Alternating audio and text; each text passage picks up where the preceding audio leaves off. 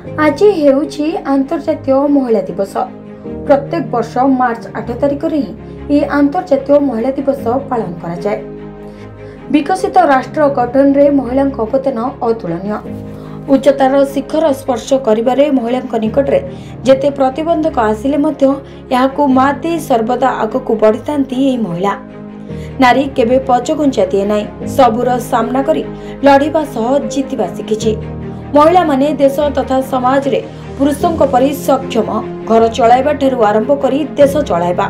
କେଉଁଥିରେ କମ୍ ନୁହନ୍ତି ମହିଳା। ପ୍ରତ୍ୟେକ କ୍ଷେତ୍ରରେ ମହିଳାମାନେ ସେମାନଙ୍କର ଦକ୍ଷତା ପ୍ରଦର୍ଶନ କରୁଛନ୍ତି ଏବଂ ସମାଜର ବିକାଶରେ ସହଯୋଗ କରୁଛନ୍ତି। ତଥାପି ଆଜି ମଧ୍ୟ ମହିଳାମାନେ ପୁରୁଷଙ୍କ ପରି ସମାନ ସମ୍ମାନ ଏବଂ ସୁଯୋଗ ପାଉନାହାନ୍ତି। ଏହାର ଗୋଟିଏ କାରଣ ହେଉଛି ମହିଳାମାନେ ସେମାନଙ୍କର ଅଧିକାର ବିଷୟରେ ଅବଗତ ନୁହନ୍ତି। ସମାନ କ୍ଷେତ୍ରରେ ସମାନ କାର୍ଯ୍ୟ କରୁଥିବା ଜଣେ ପୁରୁଷ ମହିଳାଙ୍କ ଅପେକ୍ଷା ଅଧିକ ରୋଜଗାର କରନ୍ତି। ସେଭଳି ଅନ୍ୟାନ୍ୟ କ୍ଷେତ୍ରରେ ମଧ୍ୟ ମହିଳାମାନେ ସେମାନଙ୍କ ଅଧିକାର ବିଷୟରେ ସୂଚନା ଅଭାବରୁ ସମାନ ସୁଯୋଗ ଠାରୁ ଦୂରେଇ ରୁହନ୍ତି। ପ୍ରତ୍ୟେକ କ୍ଷେତ୍ରରେ ମହିଳାଙ୍କ ଅଂଶଗ୍ରହଣକୁ ପ୍ରୋତ୍ସାହିତ କରିବା ଏବଂ ମହିଳାମାନଙ୍କୁ ସେମାନଙ୍କର ଅଧିକାର ବିଷୟରେ ଅବଗତ କରାଇବା ପାଇଁ ପ୍ରତିବର୍ଷ ଆନ୍ତର୍ଜାତୀୟ ମହିଳା ଦିବସ ପାଳନ କରାଯାଏ। ମହିଳା ଦିବସ ଅବସରରେ ସାରା ବିଶ୍ୱରେ ଅନେକ କାର୍ଯ୍ୟକ୍ରମ ଆୟୋଜିତ କରାଯାଏ।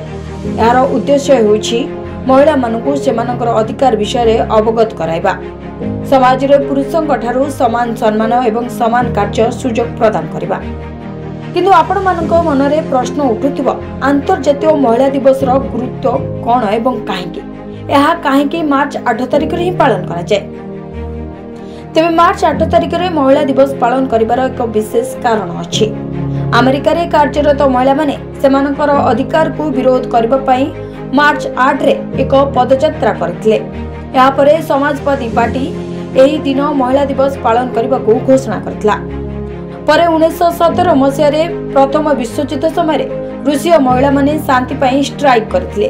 ଯାହାପରେ ସମ୍ରାଟ ନିକୋଲାସ ତାଙ୍କ ପଦରୁ ଇସ୍ତଫା ଦେଇଥିଲେ ଏବଂ ମହିଳାମାନେ ଭୋଟ ଦେବାର ଅଧିକାର ହାସଲ କରିଥିଲେ।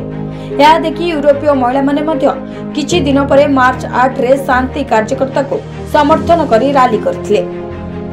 ଏହି କାରଣରୁ ମାର୍ଚ୍ଚ ଆଠ ତାରିଖରେ ଆନ୍ତର୍ଜାତୀୟ ମହିଳା ଦିବସ ପାଳନ ଆରମ୍ଭ ହୋଇଥିଲା। ପରେ ଉଣେଇଶହ ପଚସ୍ତରୀରେ ମିଳିତ ଜାତିସଂଘ ଆନ୍ତର୍ଜାତୀୟ ମହିଳା ଦିବସକୁ ମାନ୍ୟତା ଦେଲା।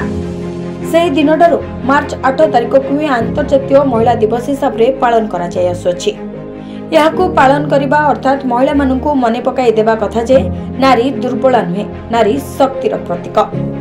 ବ୍ୟୁରୋ ରିପୋର୍ଟ ସନଷ୍ଟାର ଟିଭି।